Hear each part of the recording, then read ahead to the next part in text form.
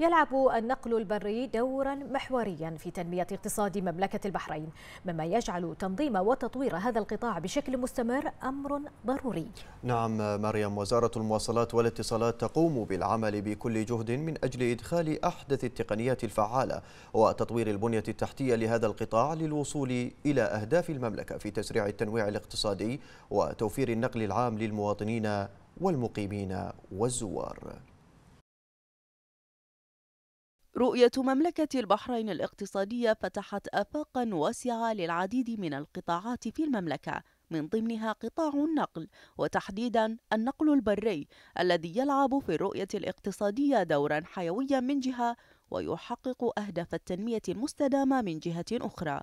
الحكومة أولت اهتماما كبيرا بضرورة تطوير وتفعيل وسائل النقل العام وقد حققت وزارة المواصلات والاتصالات تقدما ملحوظا في تطوير وسائل النقل العام من خلال توفير نظام نقل عام فعال ومتطور. تم تطويره مع تطوير البنية التحتية لتسريع التنويع الاقتصادي واستقطاب مشاركة المستثمرين من القطاع الخاص لتوفير الخدمات العامة وذلك ليتسنى توفير حياة أفضل للجميع من المواطنين والمقيمين والزوار.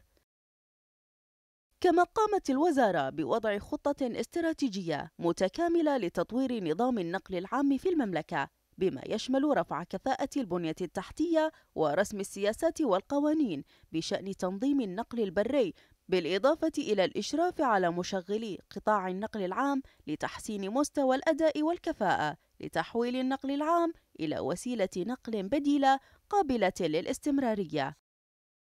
رؤية واضحة تهدف للوصول إلى تنمية اقتصادية مستدامة من خلال خطط استراتيجية لقطاع النقل البري لتحسين وتطوير أنظمة ومشاريع النقل الجماعي وتحسين قطاع النقل العام لتوفير خيارات بديلة للمواصلات العامة في مملكة البحرين.